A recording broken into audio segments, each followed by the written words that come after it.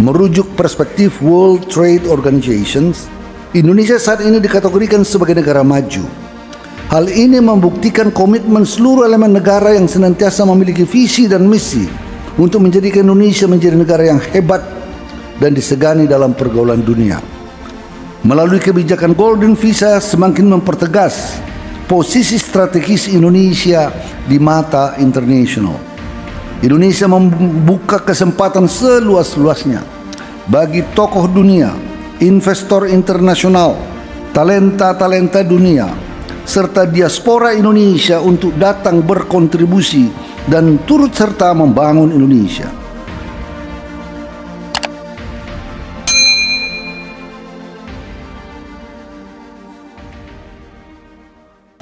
Assalamualaikum warahmatullahi wabarakatuh. Salam sejahtera bagi kita semua. Om Swastiastu, Namo Buddhaya, salam kebajikan.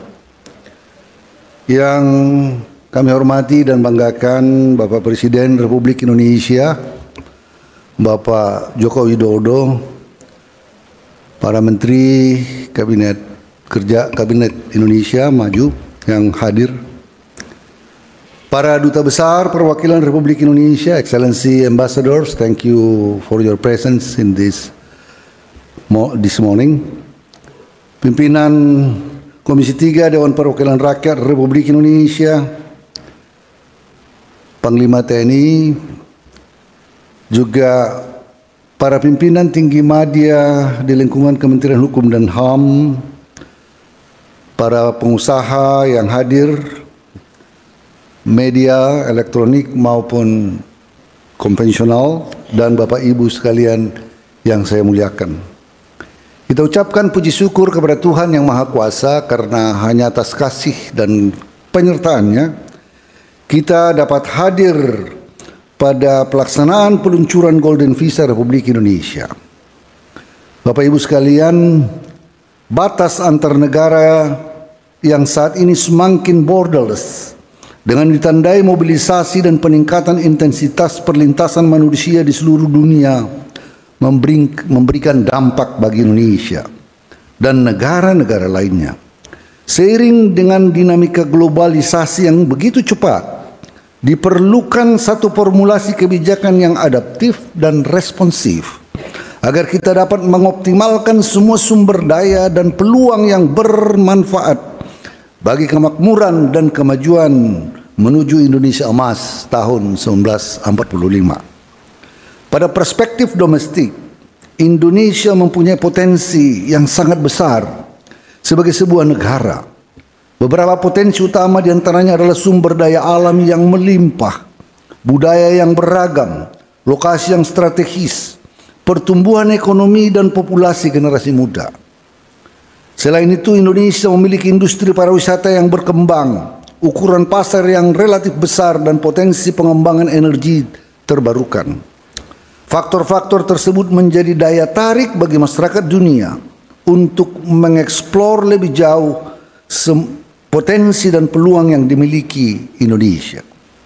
Merujuk perspektif World Trade Organization, Indonesia saat ini dikategorikan sebagai negara maju Hal ini membuktikan komitmen seluruh elemen negara yang senantiasa memiliki visi dan misi untuk menjadikan Indonesia menjadi negara yang hebat dan disegani dalam pergaulan dunia. Sejalan dengan hal tersebut, guna mengejawantahkan salah satu fungsi ke keimigrasian sebagai fasilitator pembangunan kesejahteraan masyarakat serta berdasarkan arahan Bapak Presiden untuk mengimplementasikan kebijakan selective policy dengan tujuan menyasar good quality travelers maka dirumuskan suatu kebijakan keimigrasian yang kita populerkan dengan nama Golden Visa. Golden Visa merupakan suatu kebijakan adaptif dan responsif bagi dari Kementerian Hukum dan HAM dalam hal ini Direktorat Jenderal Imigrasi sebagai jawaban dari inovasi pelayanan publik yang memberikan kemudahan dan fasilitas kepada warga negara asing untuk berada dan tinggal di Indonesia. Melalui kebijakan Golden Visa semakin mempertegas posisi strategis Indonesia di mata internasional. Indonesia membuka kesempatan seluas-luasnya bagi tokoh dunia, investor internasional, talenta-talenta dunia, serta diaspora Indonesia untuk datang berkontribusi dan turut serta membangun Indonesia. Implementasi kebijakan tersebut membawa satu optimisme baru bagi para pelaku bisnis dan investor untuk mendapatkan kenyamanan, kenyamanan dan kepastian berinvestasi.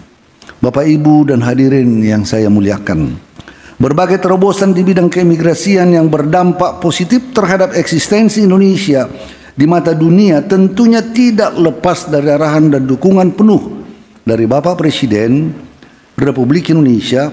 Oleh karena itu pada kesempatan yang berbahagia ini, perkenankan saya menyampaikan apresiasi yang sebesar-besarnya kepada Bapak Presiden Republik Indonesia Dukungan Bapak Presiden merupakan dorongan besar bagi kami untuk senantiasa melakukan pembenahan serta terus meningkatkan pelayanan publik yang berkualitas bagi masyarakat Indonesia dan dunia internasional.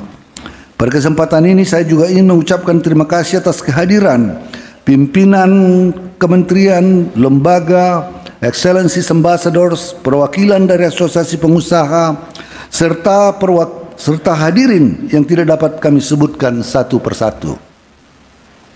Dukungan dan kerjasama dari Bapak Ibu sekalian, kami harapkan dapat mensukseskan implementasi kebijakan Golden Visa. Sebelum saya mengakhiri sambutan ini, dengan hormat dimohon kesediaan Bapak Presiden Joko Widodo, Presiden Republik Indonesia untuk dapat meluncing Golden Visa Indonesia. Sekian dan terima kasih.